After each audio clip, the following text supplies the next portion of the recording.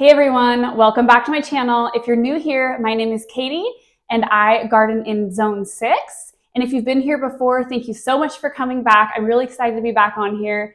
Today, I'm gonna be going over my seed starting, um, kind of how my plants are going right now. Um, we have about a month until, about a month and a half until they're gonna go into the ground.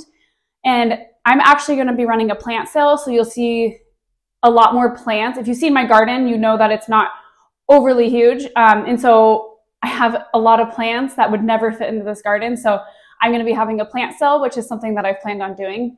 Um, but yeah, let's go take a look at what I have. All right, guys, bear with me. The lighting is not that great in this room. Um, it's actually a pretty dark room in my basement, which is where I'm growing all of my plants.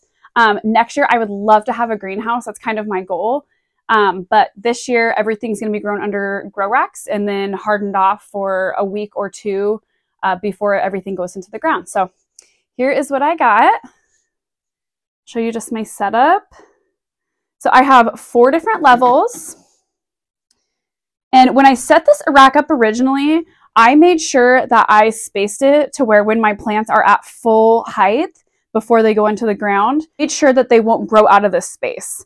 So everything is perfectly where I want it um, when I set this up. Um, but if you see, I have this tinfoil in the back and that just helps kind of reflect the light, which the plants on the back row seem to do, be doing a lot better than these front row plants. Um, these ones seem to be stretching just a little bit, but for the most part, they're actually doing pretty, pretty good. And then down here, I have all my, all my peppers. And then this is kind of a mixed row down here. Okay, so I'm gonna start, I'm gonna start with my top row. And on this row, I have Sugar Rush Peach Pepper. These are my smallest peppers. I did start them about a week later than my other peppers. But if you guys have grown these, is this normal for, is this normal for these um, peppers? Because they look very small compared to my other ones. So leave a comment if you have grown them and you experience the same thing or you don't experience the same thing. I'm just honestly curious. And then over here, so right here, I did little pollinator packs, which I'm going to be selling. And so I have just red night marigolds and alyssum. And then some of these are mixed with chamomile. I kind of did some mixed packs. I thought it would be kind of fun for people. And then these are just zinnias. I have some more, these are tangerine gem marigolds, which these all need to be repotted actually. This is a black-eyed Susan. I kind of did this last minute, so I only had one that came up, so I'm just going to try it out. I've never done this before. I usually just buy them. And then these are my bush red cherries. I did these, gosh, maybe like three weeks behind all my other tomatoes, but those all need to be repotted into four inch pots too, which I'm going to be doing today. And then I have my Genovese basil, which is my favorite basil. I have my purple basil right here. And then parsley. These are cosmos, which I know are really easy to grow from seed in the ground, but I just wanted to get a head start on these guys. And then, yeah, these are all more little pollinator packs that I'll be selling. I think they're all, yep, four cells. And then here is some coleus. You guys can see that. This coleus actually grows pretty quick. So once I transplant these, I'll probably transplant them pretty small too they come up very, very quick.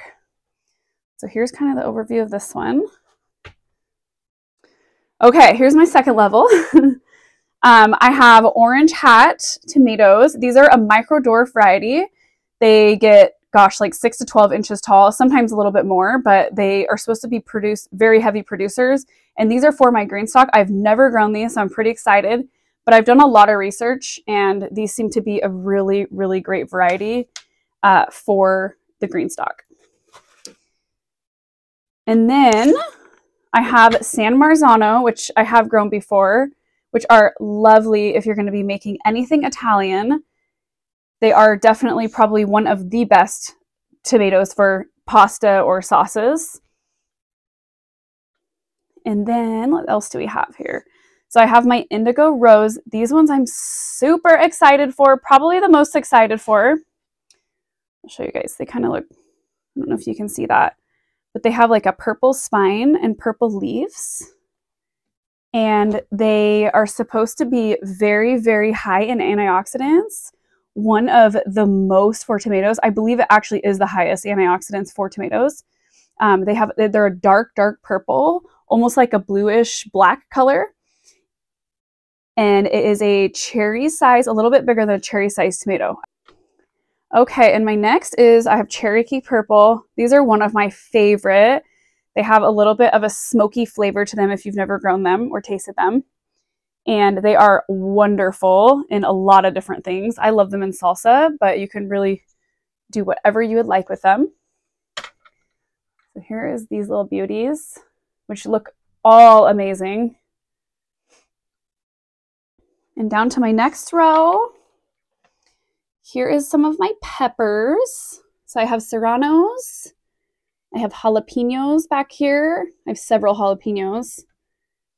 I have a lemon jalapeno, which I've never done, which will be pretty fun. I have sweet banana. And I usually grow hot peppers, but every now and then I don't mind a mild pepper. And then I have, and this is my daughter's she wanted to do her pumpkin. I would normally just do this straight into the ground with a seed, but she really wanted to plant her pumpkin ahead of time, so we are doing that. And then I have poblanos or anchos.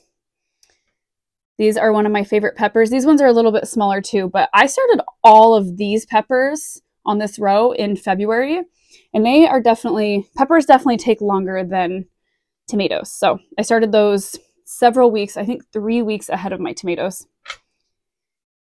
All right, and then on the bottom row down here, and these are watermelon beefsteaks, and they get to be about the same size as a beefsteak, um, and they are pink in color, and the flavor is very, very similar. It's just fun to grow a little bit different variety. And then these are pineapple tomatoes. So these have kind of tropical notes. I love these tomatoes too. Definitely one of my favorites. And then I have some Pasilla. If I, I might be saying some of these wrong, but I have some Pasilla. These ones are pretty tiny too. And then back over here, I have some more tomatoes, two more flats of tomatoes. I have some Amish paste, which I've never done these, but I've heard really good things about these paste tomatoes. I have heard that they are just as good, if not better, than the San Marzano. So I'm pretty excited for those ones too. I plan on doing some pasta sauces and canning them. And then just some more watermelon beefsteaks and Amish paste. But yeah, you can see these ones are stretching just a little bit right here. Um, but overall, they seem to be doing pretty good. And I've just been rotating them in and out. And this is what I did last year, and they seem to do really well. So yeah, here is this little bottom row. Looking good. Still, like I said, about six weeks till they go into the ground, which, holy cow, tomatoes grow so fast. You guys, I'm going to post a picture of what my tomatoes looked like. Um, I'll post it right here. I'm going to show you what they looked like 12 days ago, and you're going to see the difference in size. And then kind of off this little side, I have just some more pollinator packs um, that I'll be selling. So yeah, most of these are going to be sold um, and the rest will be going into my garden. So I'll probably, last year I did, I think 17 tomato plants. I'll probably do about the same this year. And then I think I did like 10 pepper plants. So that should be plenty for my, the space that I have. Okay, so this is everything that is gonna be getting repotted today in these four inch pots, which I have all set up. And so I just fill with kind of moist um, soil, a high quality soil. That is very important when you're starting seeds. And I just fill it to the top and flatten it out. And then, so what I'm doing today is I'm doing parsley, my Genovese basil, my purple basil. These are super tiny, but they transplant really well when they're this small. So I don't worry about it. And then these are my bush cherry tomatoes, which grow pretty quickly. Um, and so when you're transplanting your cherry tomatoes, you want to make sure they have those true set of leaves, which are these leaves that you see in the middle. Show you right here. So you want to make sure that they have these leaves in. And that's when they are ready to transplant. And once these are transplanted, they grow so much faster because they're in a lot better soil. Um, they'll, they'll be out of the seed starting mix, which doesn't have a lot of nutrients. And then they'll be into a high quality potting soil with a super small amount of fertilizer mixed in. So I'll show you guys how I do this. So let's do the bush cherry tomatoes. You guys, this is so easy. Like, don't overcomplicate this process. It is very, very simple. And so tomatoes are pretty tough on their roots, but I'll show you what it looks like up close. These roots look great.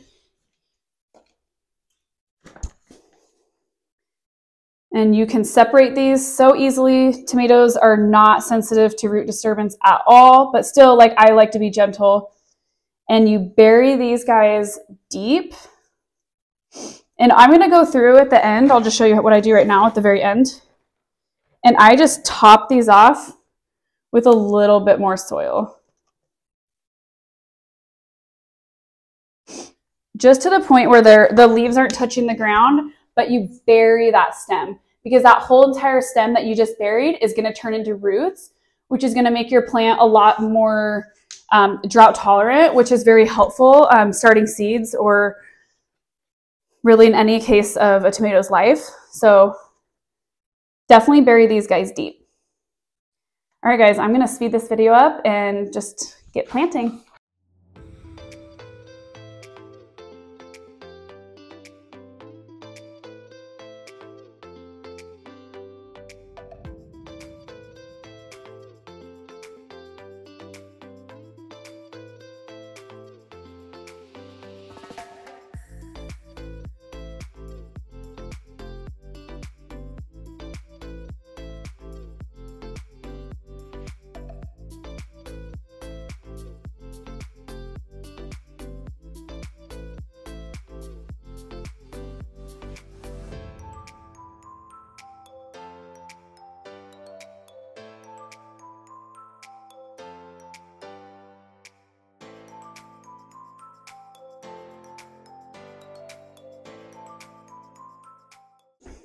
Okay, and so after I transplant all of my plants, this is for every plant that I have, I do the exact same thing.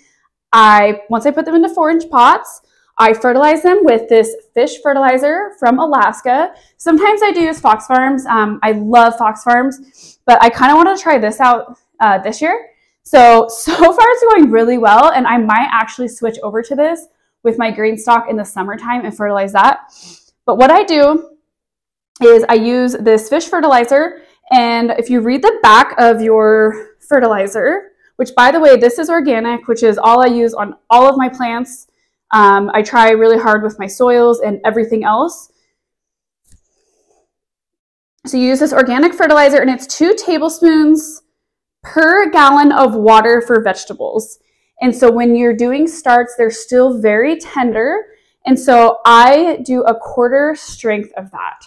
So I did a half of a tablespoon per gallon of water and I mixed it up and then I just put it in this little watering can and I will just water these thoroughly with this fertilizer. And once I fertilize them this time, then I'll be fertilizing them once more again, probably here in about three weeks.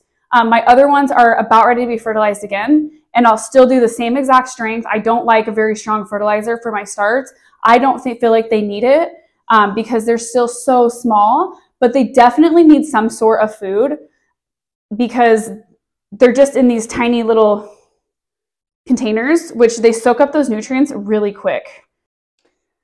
Okay, so for today, that is basically just my growing setup that I have right now, and also just how I transplant from my seed starting mix into their containers which this is our last container before they go into somebody's garden or my own garden. But yeah, this is how I do it, guys, um, how I fertilize. And I hope you found this video useful. I hope you can take some information away and make your gardens grow bigger and better. Um, but yeah, thank you so much for watching today, and I will catch you guys next time.